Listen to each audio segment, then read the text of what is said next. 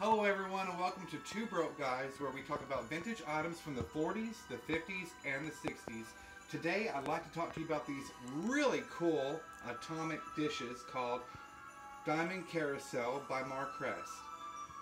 They were designed by Alfred Dube in the 1960s. I think they look more 50s, but people say they're from the 60s. I don't suppose it matters too much. They were made by Stetson China Company, located in Lincoln, Illinois, and they were in business from 1919 to 1965. Some of the pieces are marked on the bottom with Nest Stone, and some are not, like the sugar and the creamer. They don't have a stamp, which I don't know why they did that sometimes. Some of the lids look like this, and some are solid blue. I'm glad to have that. Although I don't have another piece that it goes on, I still really liked it. The person that designed these, Alfred Dube, he was a really phenomenal human being, and I'd like to talk to you about him a little bit.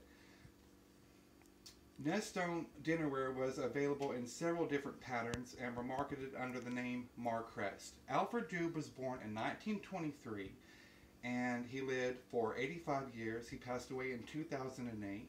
He was born May 3rd in Pilsen, Czechoslovakia. He was a 30-year resident of Las Vegas, and prior to World War II, he graduated as a ceramic engineer. He moved from the ghetto to various concentration camps, including Buchenwald and Bergen-Belsen. He was the only survivor out of a 37-member family. All others were murdered during World War II. Pretty amazing, isn't it? After the war, he worked in the underground for an organization that facilitated the acquisition of passports for Jews to escape occupied territories and find passage to Palestine. He also became a model and the subject of a series of art pieces titled The Muscle Man.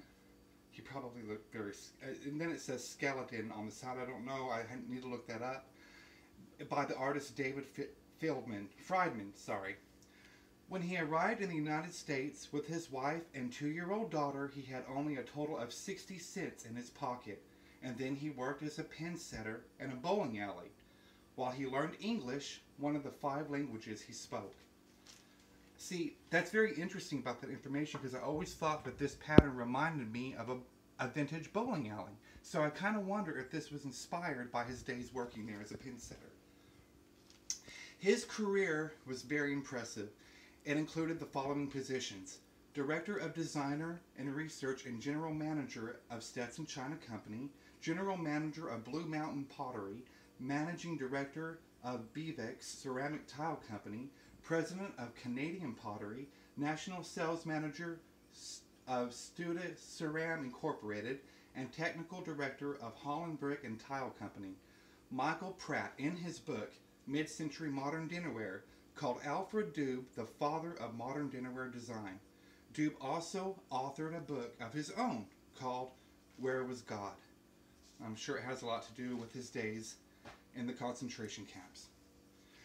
You guys, these are not just merely dishes or old junk. These are not factory pieces made in China. These are works of art.